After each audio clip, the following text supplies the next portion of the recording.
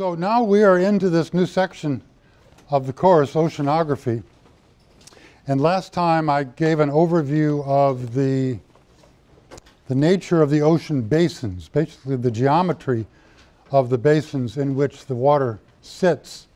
And we connected that to plate tectonics, um, both to make the point that those ocean basins are changing through geologic time, but also to get at this curious issue of how um, the oceans are not just a kind of a random roughness on the earth, but they really represent um, two basic levels of, of earth crust. The continental crust, which sits a bit higher, and the ocean crust, which sits a bit lower. And that's why there are these vast areas of the ocean that are at about the same uh, depth below sea level. These, these abyssal plains. It's an oversimplification to say, of course, that the ocean basins have flat bottoms, um, like a bathtub or something. But there is a little bit of a tendency that way because they do have they do have ocean crust beneath them, which floats at a certain level and gives you the depth of about five kilometers uh, in many, many places around the world ocean. Some places are deeper, some places are shallower, but there is that reference level from which we work. Any questions on that? Then we moved into a discussion of um, how to measure salinity and temperature in the oceans, and I talked about some of the methods to do that, and I wanted to pursue that just a little bit further and then get into some um, quantitative methods for estimating how uh, the atmosphere forces various things that go on in the ocean. So let me just start here, and I showed you this last time. This is a typical um, ocean sounding. Zero refers to sea level, and then uh, depth is in meters below that, and this one going down to 4,000 meters. Um,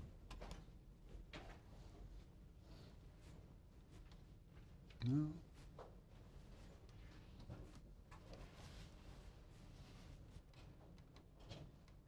Okay.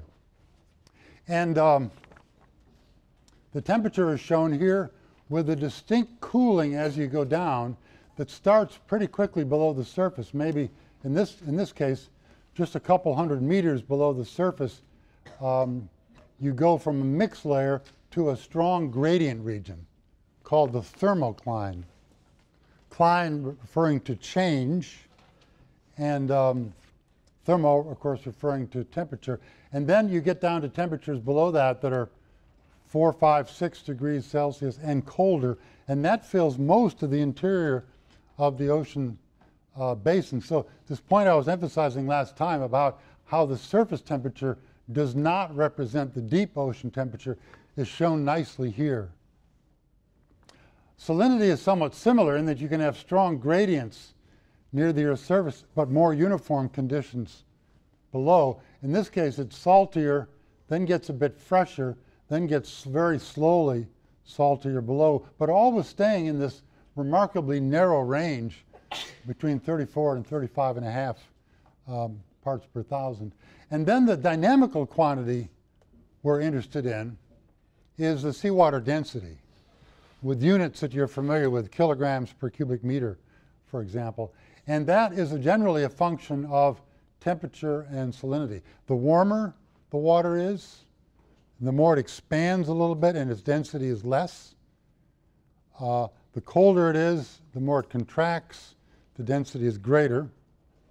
And uh, salt, when you add salt to water, the salt goes a little bit into the pores between the water molecules, which increases the density. So the greater the salt content, the greater is the density. And the fresher the water is, the less is the water density. And since density is what gravity acts on, we're particularly interested in this. For example, if you want to apply the hydrostatic relation to find out how fast pressure increases with depth, you'd want to use the density derived from the salinity and the temperature. Uh, the word um, pycnocline is used when you're referring to this gradient region as it applies to density. So here it's the halocline referring to the salt. There, the thermocline, referring to the temperature. The pycnocline refers to that combined quantity, which is the, the density of the water. And uh, these profiles vary from place to place in the world ocean. For example, at high latitudes, where you might have a lot of precipitation, and because it's cold, not very much evaporation, the surface waters, um, notice the salinity scale is reversed on this diagram. the water might be a little less saline at the surface than it is down deep. Whereas in the tropics, where, for example, in the belt of deserts, the descending branch of the Hadley cell, you'd have a lot of evaporation, but very little precipitation. So the water near the surface would be salty there, but not at the bottom. The bottom is more, is more um, homogeneous.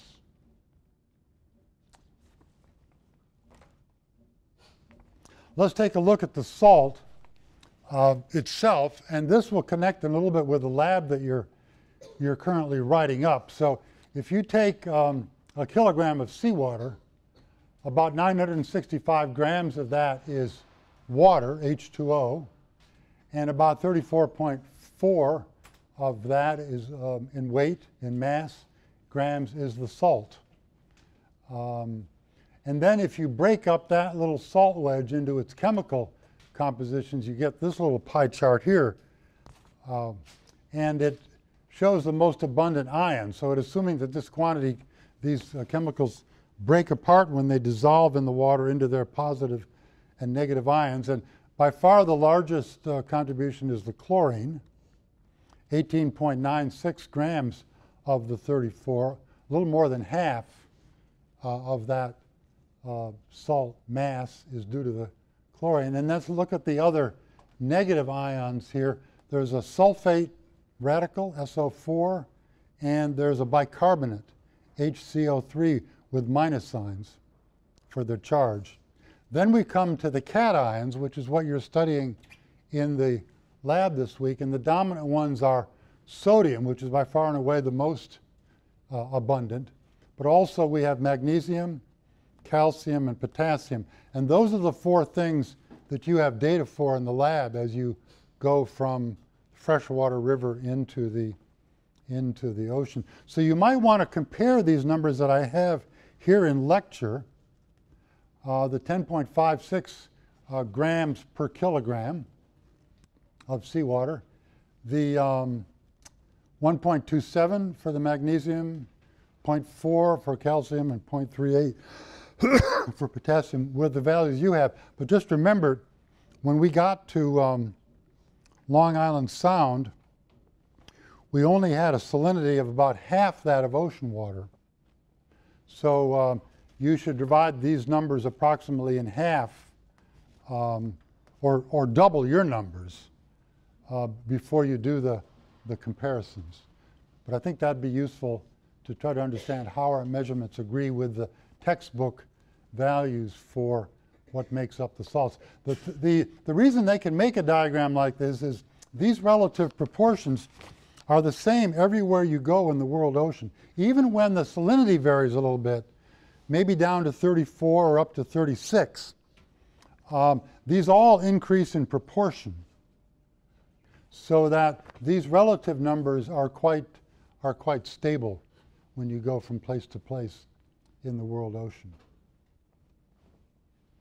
And of course, our, our simple theory of this is that this represents an accumulation over geologic time of small amounts of these chemicals, these salts that have come into the ocean from, from rivers. And you're testing that idea in your, using your lab data. Any questions there? Now, um, remember in the atmosphere, we spent a good deal of time talking about static stability. That is, we looked at the role of the atmospheric lapse rate, how the temperature changes in the vertical, to whether um, parcels can rise and fall easily or not, or whether that atmosphere might even be unstable and break down to convection. So we defined an unstable lapse rate, uh, a stable lapse rate, the inversion, which was an example of a very stable lapse rate. We're interested in the same kind of analysis in the ocean, but there's a couple of essential differences.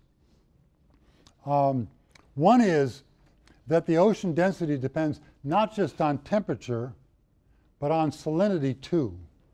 So we'll have to take into account both of those quantities. We'll do that simply by computing the density. We'll base our stability analysis on water density rather than on temperature or salinity alone. And the other big difference is that while air is compressible, so as a parcel lifts in the atmosphere and moves to lower pressure, it expands, does work on its environment and its temperature changes. That effect is very, very small in the oceans. I, it's not exactly zero, but it is so small that for many um, quick calculations, we ignore that uh, volume change and that so-called adiabatic cooling or adiabatic warming as air parcels rise up and down in the atmosphere. We ignore that in the ocean. So because of these two differences, the, um, the idea of what determines stability in the, in the atmosphere and the ocean are are significantly different. Um, the basic principle is that while temperature and salinity can either increase or decrease with depth, the density derived from them must always increase with depth. And we saw that in the earlier diagram here, that um, the salinity, for example, uh, decreased with depth, then increased with depth, but when I computed the density, it increased smoothly. If there was ever a layer where the density got less with depth, that would be an unstable layer and it would immediately cause convection and would mix. So um, years ago when I was first starting out, I was looking at some CTD data from a ship and uh, thought I found an unstable layer went running up to the chief scientist to show him this remarkable discovery, and he quickly pointed out where I'd made a mistake in my calculations. Uh, so once again, the, the ocean was found to be stable, which has been proven many, many times. But the point is, you could have an unstable layer, but it would exist only minutes because immediately convection would begin, that layer would mix, and you might produce a layer of constant density from that mixing, but you would be unlikely to sustain any layer that is unstable. So you should always expect to find this kind of relationship. And, and if you don't, you've either made a, a wonderful discovery or somewhat more likely you've screwed up your, your calculations in your, when you computed density from, from temperature and salinity. So it's a very important principle, um, probably almost universally true in the atmosphere, in the ocean, sorry. So, um, yeah, so there it is. Now, this diagram is nice because it, um, it combines together hundreds of CTD and Nansen bottle data sets from the three, three of the major world ocean basins, the Pacific Ocean, Indian Ocean, and the Atlantic Ocean. And what I like even better about this diagram is that it's superimposed, these balloons of data are superimposed on a, um, uh, a diagram that has lines of constant density on it. Let me walk you through those lines first. So on this axis is the salinity in parts per thousand that we're used to working with, PPT. On this axis is temperature in degrees Celsius. And then these lines are lines of constant seawater density. So, and by the way, so what is this unit here? This unit is the density of seawater with um, the 1 and the 0 dropped off, right? So you would read this as 1,028.5 kilograms per cubic meter. And since it only changes in those last couple of digits, we don't want to keep writing that one zero in front of all of those values. But you can see that um, the density is greater down here, 29, 28.5, and 28. And that corresponds to salty water and low temperatures. And the seawater density is less up here, 25, 24.4, 24.5, and 24 for high temperatures and low salinities. So that's as we thought it would be. Are there any questions on that? There's a couple other things I'd like you to notice about this diagram. Um, up in this, in the warmer temperature region, up near the top of the diagram, um, because of the way these lines are tilted, um, the density is most sensitive to temperature changes. Whereas down in the colder regions, where the lines are tilted more like this, the density is more sensitive to salinity changes.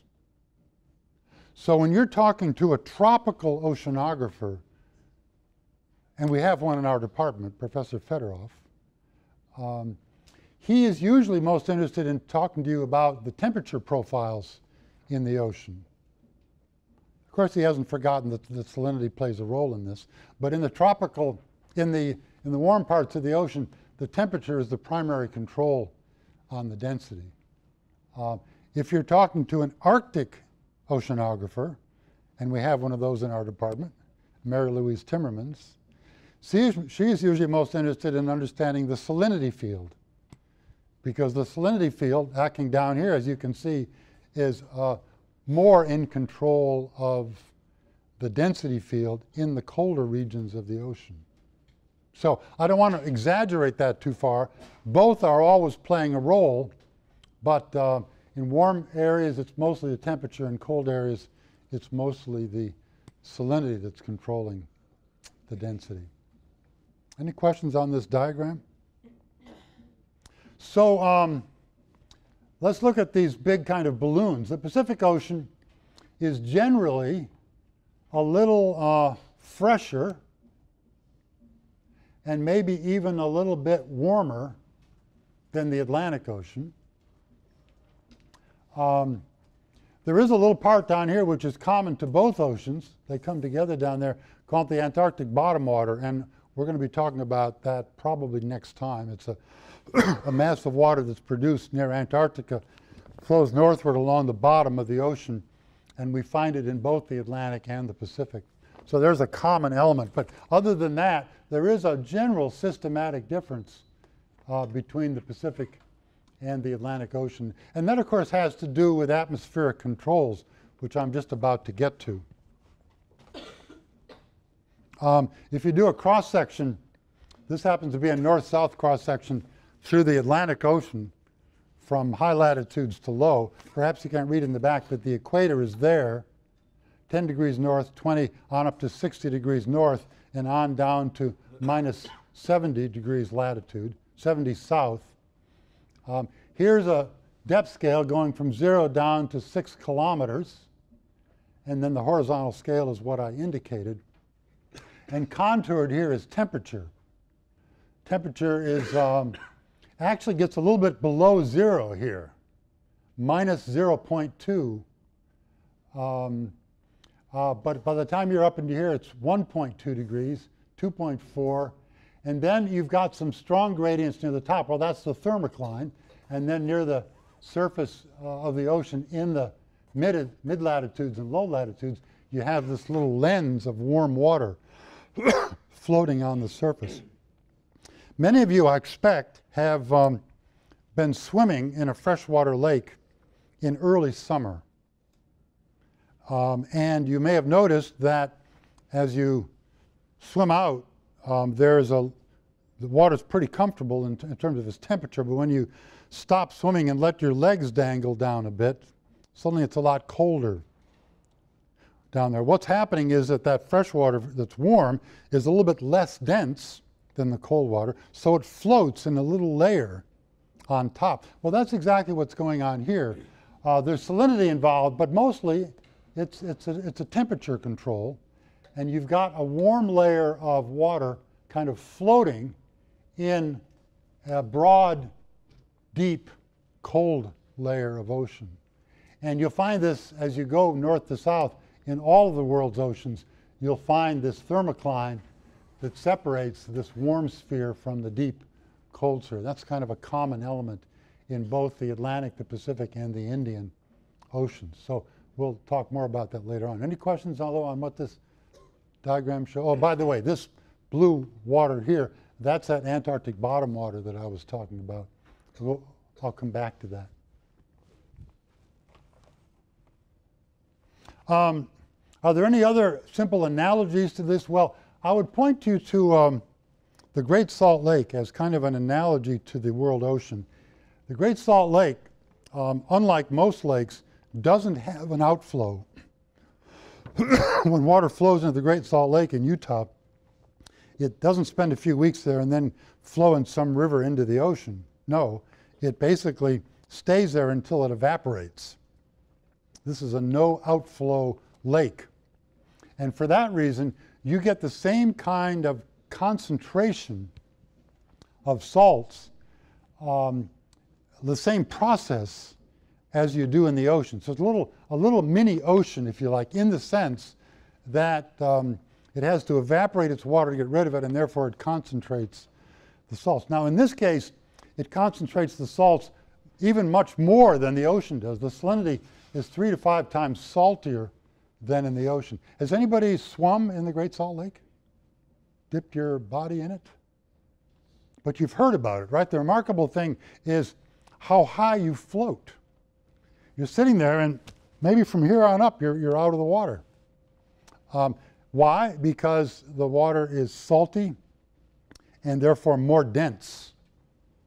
And following Archimedes' rule, the denser the water is, the more mass you're displacing, the more the buoyancy force, the higher you float. So, so this is a, um, a good thing to think about when you're trying to understand basically how oceans work. It's kind of a little mini, mini ocean. Now, uh, the subject I was going to get, into, get into today, and I, am, I will get into it, is atmospheric forcing of the ocean. For the most part, the, any motions you have in the ocean, in fact, almost everything that goes on in the ocean is driven from above by uh, either sunlight hitting the ocean or some other interaction with the Earth's atmosphere. Now, is there any forcing from below at all? Well, there is a little bit of geothermal heat coming out of the bottom of the ocean basins, but that's quite small.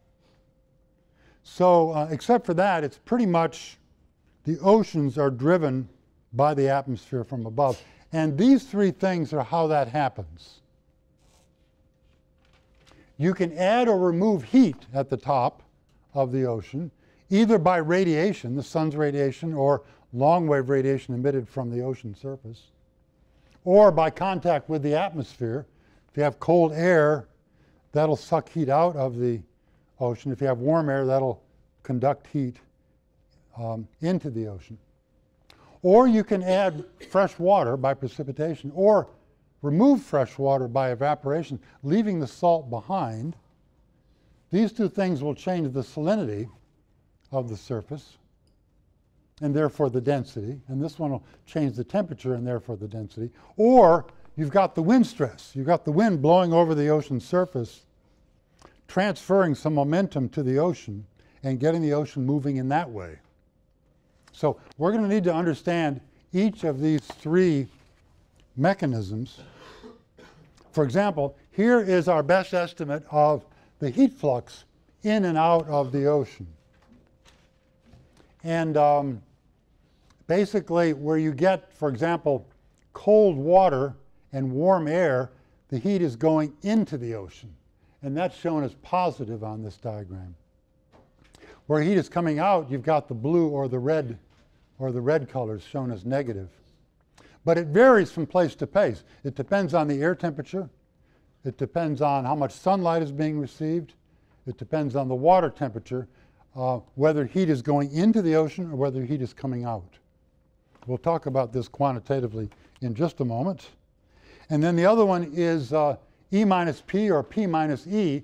This one is evaporation minus precipitation. The sign is derived in that way. So whenever um, uh, water is evaporating, you get a yellow signature here, and the units on this are in millimeters per day. How much water is being peeled off and evaporated in terms of a layer depth per day, whereas in the blue, and you notice it coincides with the ITCZ, for example, where you have heavy precipitation, um, precipitation exceeds evaporation, so the sign of this quantity is negative, shows up as blue. Then you get up into mid latitudes again where uh, it's colder, there's less evaporation, but you have the frontal storms, and once again, you're getting an excess of precipitation over evaporation. So this is driving motions in the ocean as well. And then the final one is the, um, the winds over the ocean, which change a bit with the season. There's January, there's July. But generally, you've got westerlies in the mid latitudes and easterlies in the low latitudes in both seasons, and that is generating motions in the ocean itself. So that is where we'll end the pictures today, and I want to get into quantifying these things.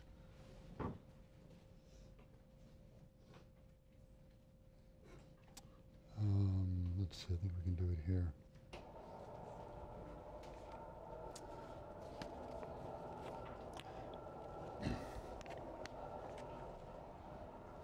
So here I've repeated those three ways in which the atmosphere forces the ocean, adding or removing heat, precipitation and or evaporation, and the wind stress. Now, I want to make a, a, further distinction from this. So I've got a little, I've drawn a little cartoon down here.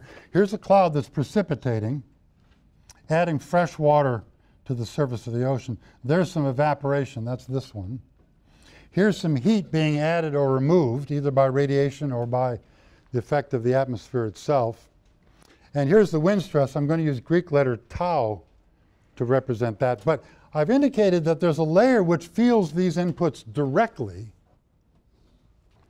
And that's rather, I've called the depth of that capital D. And that will vary from uh, time to time and place to place, but typically that's a, a very small fraction of the ocean depth. When I do examples, I often set D equal to 100 meters. Um, roughly only the first few tens or couple of hundred meters feels these inputs directly. The rest of the world ocean will feel them, but it'll be an indirect influence. Something coming not directly from the atmospheric input, but something then coming out of this other layer that feels the direct influence. So be aware that I'm making this distinction for all three of these categories of forcing. I'm trying to first, my first job is to figure out what does it do to this layer that feels the influence directly. The first one will be adding heat. And you remember that if you um, add a certain amount of heat to a mass m with a heat capacity C sub p, its temperature will change by delta T. We've had that formula before. If I write that in a per unit area basis, I'll divide the Q by A and the mass by A, and I'll leave everything else the same. I've just divided both sides through by the area that I'm considering, which in ocean, oceanography, we don't usually even consider that area. We just do these calculations on a per unit area basis. The, um, the mass per unit area, if you think of a piece of the ocean, a little cylinder of area A, its total mass is going to be its volume uh, times the density of the, of the water. And the volume is going to be the product of A and D, where D is the depth of that cylinder. So the mass per unit area here, which divides out the A, is going to be the product of rho D the water uh, density times the depth of the layer that I'm considering. So then let me just take that and plug it into this formula. I get Q over A. That's the heat being added per unit area. Plugging this in, I get rho D Cp delta T. And solving that for delta T, I get Q over A over rho d C sub P. And I think we've seen that formula before, but there we have it again. Um, this will tell you how much the temperature of the surface layer of the ocean changes when you put in a certain amount of heat per unit area. And it depends on the density of the seawater, the depth of the layer over which you're distributing that heat, and the heat capacity of water. So a quick example of that. I'm going to take a solar flux of 1,000 watts per square meter. Let's say we have sunlight hitting the surface of the ocean with that kind of intensity. And um, that persists for one day, which is 86,400 seconds.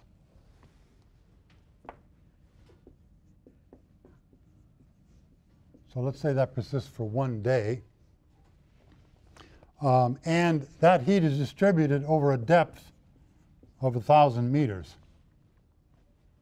How much will the temperature of the surface ocean change in that case? Let's just put the numbers into the formula then. I'm just extending this formula over. So um, to get the heat, I need to multiply. Remember, this is watts. That's a rate of putting in heat. That's a, a watt is a joule per second. So I need to multiply the time by the watts to get uh, joules per square meter, which is what Q over A means. That's joules per square meter. So that's going to be um, 8.64 uh, times 10 to the seventh joules per square meter up top. That's just the product of those two numbers. And then down below, I'm going to put in a estimate for sea level density, uh, uh, sea water density, um, a depth of 100 meters, and the heat capacity for water, which is about 4,200 units of um, joules per kilogram per degree. That's C sub P. And you work that out, and I, you might want to check me, but I got 0.2 degrees Celsius. So um, a warming, the warming turned out to be pretty small because um, that heat got distributed over a pretty great depth. And the mass of that water is large and its heat capacity is large. So although I put in uh, almost 10 to the eighth joules for every square meter, the rise in temperature was pretty small. Yep. That's supposed to be a thousand meters for. Um, that's supposed to be um, Oh, no, I, I made the mistake here. 100 meters, sorry. 100, thanks, thanks for pointing that out. 100 meters, yeah. That'd be too deep. Um, very, very rarely does the ocean mix down to 1,000 meters. As you saw in the diagrams, by the time you get down to 1,000 meters, you've got a lot of gradients and things like that. So it doesn't usually mix, mix that deeply. So you can apply this to a wide, variety of circumstances depending how you alter the input numbers. The heat could come from the sun, like I've done. It could be a loss of heat by radiating to space. It could be a heat transport from the atmosphere in or out of the ocean, depending where, remember the diagram I showed you? Some parts of the world is positive, some parts it's negative. So this number is going to depend on where you are, the season of the year, and so on. Okay. Now, the next one will be um, number two, this is a little trickier. Let me define, define the salinity as the mass of the salt over the mass of the water in any particular sample that you have. I'm going to be looking at change, so I'm going to define salinity at time 1 as being the mass of salt at time 1 over the mass of water at time 1, and salinity at time 2 as being ms2 over mw2. But I'm not going to consider cases where I'm adding and removing salt. That doesn't happen very often in the ocean. Instead, I'm going to consider cases where I add and remove fresh water. Either it rains, so I'm adding fresh water, or it evaporates, When it evaporates, it leaves all the salt behind, so you can say that I'm subtracting fresh water. So I'm going to assume that in the changes I'm about to describe that MS1 is equal to MS2. So I'm not changing the mass of salt in the sample, but I'm going to change the mass of salt water. Um, I'm going to define the change in salinity as being S2 minus S1.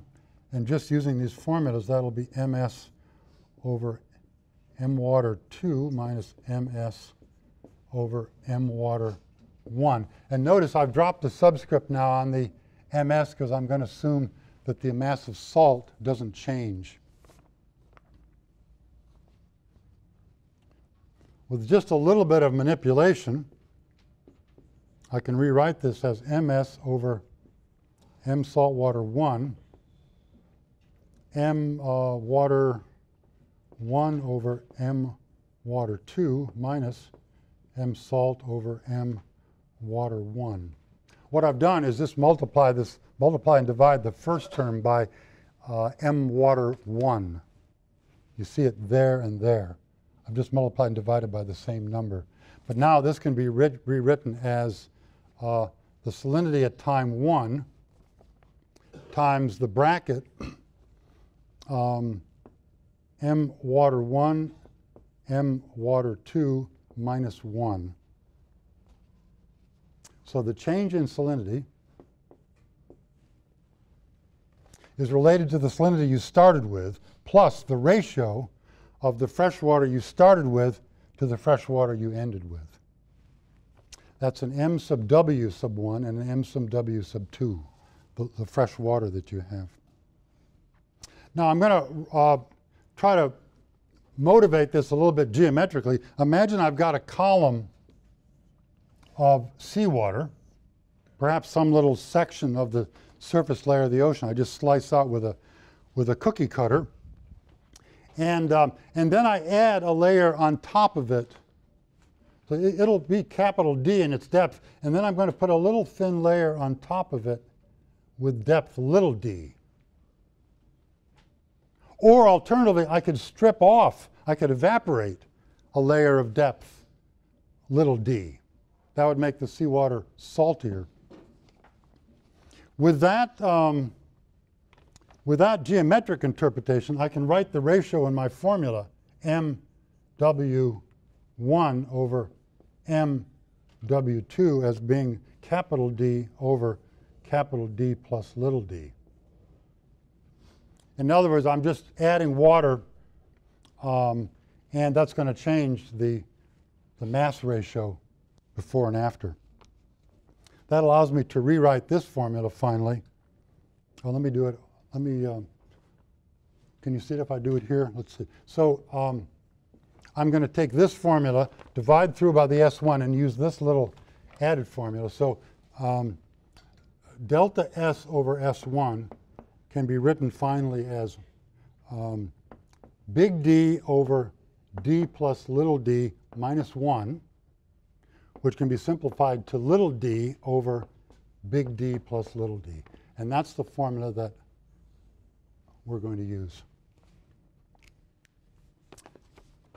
Let me, uh, if that seems confusing in any way, all I've done is conserve salt, but change the amount of fresh water, and therefore the salinity changes. So if I add a layer of fresh water of depth, of depth D with a minus sign there, uh, that's going to make the water less salty. The minus sign reminds us of that. If D is positive, if I've added fresh water, the, uh, the ocean gets less salty. If I subtract by evaporating, then D would be negative. Negative times a negative is positive, and the salinity would increase. So that's the way you would use this formula. Let's do an extreme example to be sure this formula is correct. Let's say that I um, doubled the depth. I put a whole thick layer of fresh water on there equal to what I had originally of seawater. Well, then it would be um, minus capital D over capital D plus capital D, that quantity is going to be minus 1 half. That means the salinity is going to drop in half of what it was before because I've added an equal amount of fresh water. So that salt now had to mix into twice the amount of fresh water. That's going to drop the salinity exactly in half. Now, this would be an extreme example. Usually in the ocean, we're just talking about adding some small fraction. So let me do a, um, a little more realistic example of this.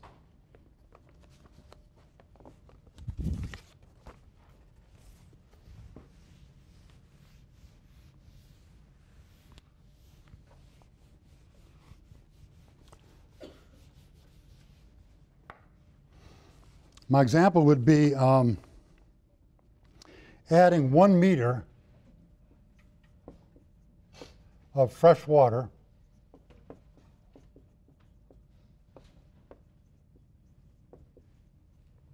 to 100 meters of ocean water.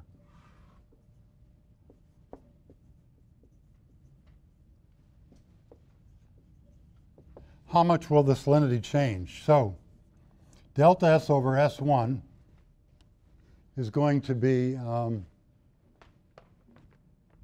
minus 1 over 100 plus 1. So that is approximately minus 0.01. This is approximately 35 parts per thousand, let's say, the original salinity.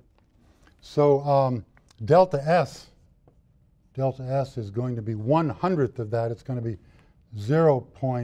0.35 parts per thousand, which means the new S, the new salinity, I'll call it here S2, is going to be 34.65 parts per thousand. Right? If I started with 35 parts per thousand, 100 meter column, added one meter of fresh water on top, mixed it all in, um, the salinity drops by um, 0.35 parts per thousand, which takes me from 35 to 36.65. That would be a typical situation, and that's a big difference, considering that the full range of ocean salinity is only from about 34 to 35 and a half. That's a big difference in ocean salinity, and that'll cause circulations to begin because the seawater density will have changed there any questions on that? Is that only for the surface? Pardon me? Is that only for the surface? Yeah, I don't imagine, well, that's right. So that would, that would affect this top 100 meters. And then what happens later on to the rest of the ocean, um, that would remain to be seen. If, for example, in this case, I made it less dense, because I made it less saline, that water would probably remain floating there. If I had made it more dense, it might find itself so dense that it would then fall to the bottom of the ocean. But that's a separate calculation. Here I'm just trying to understand what happens to the surface water when you change its uh, salinity.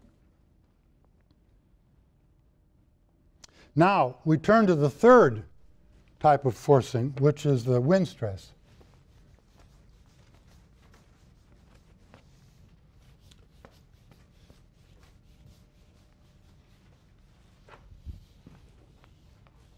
This is perhaps not quite as obvious as the others. I don't think I've greatly surprised you by either of these calculations here. It's pretty much common sense. But what happens when the wind blows over the ocean? When the wind blows over the ocean, it produces a wind stress. Frictionally, just like when you move your hand across the table, pushing down, there's a stress being applied on that table. That table starts to move sometimes in the direction that you're pushing. And that's my question. If, if I put the wind in that direction from left to right in this diagram, does the, does the um, ocean water begin to move in the same direction? Well, you're probably on your guard because um, you know that the Coriolis force exists. So that some things are not quite as obvious cause and effect wise when you have the Coriolis force. In fact, here's what happens. So I'm going to write a, draw a plan view now, north, south, east, and west. I'm going to imagine I've got a westerly wind. That is a wind from west to east. So the wind is blowing in that direction. The wind stress will also be in that same direction. Um, I'd like to prove to you in the remaining three or four minutes that when I push the water in that direction, it goes to the right. It doesn't go in the direction I'm pushing. And um, this will involve a new uh, kind of force balance called the Ekman force balance.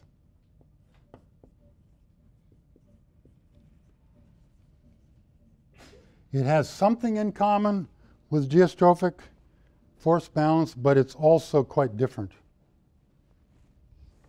Um, so let's say that I start to put this wind stress. Uh, it's going to, in the first few minutes, it is going to do the obvious thing. It's going to start the water moving towards the east. But then as soon as it gets moving, it feels a Coriolis force. And it'll begin to bend. And after a few hours, I will argue now that the, the flow will be towards the south. That'll be the Ekman flow. To the right angles of that will be the Coriolis force acting on that Ekman flow. And that's going to be equal and opposite to the wind stress itself.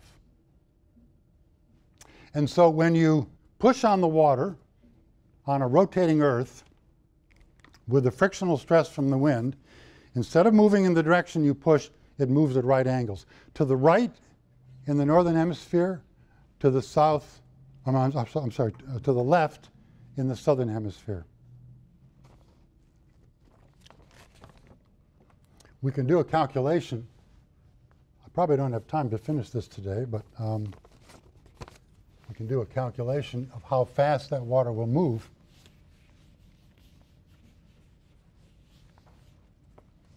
If I have a, uh, again, a column of depth d, it has a mass given by a d rho across the area the height of the column and the density of seawater. If it begins to move, it'll have a Coriolis force given by 2, the mass, um, the speed, the rotation rate of the Earth, and the sine of the latitude. And that's going to have to balance the wind stress. There's a nice empirical formula for wind stress that I'll give you. I won't derive it, it's just a an observational quantity. I've written there empirical, which means it's an experimentally derived formula. Uh, it's given by a constant 0.003 times the density of the air blowing over the water surface times the wind speed squared.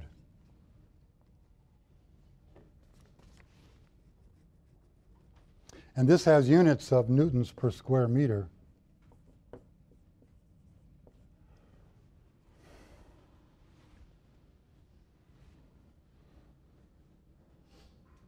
So now um, let me just equate those two things following the prescription for the Ekman layer force balance.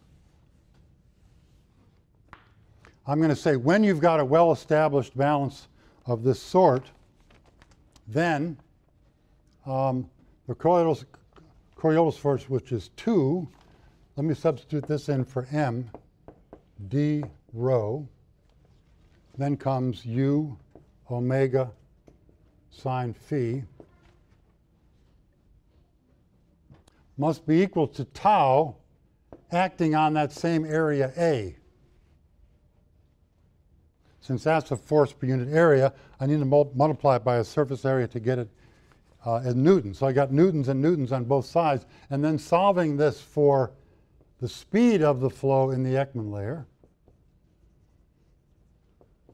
I can cancel the a's, and I have tau over 2d rho omega sine phi, sine of the latitude. That is the box formula for this part of how the atmosphere, ocean, uh, atmosphere drives the ocean.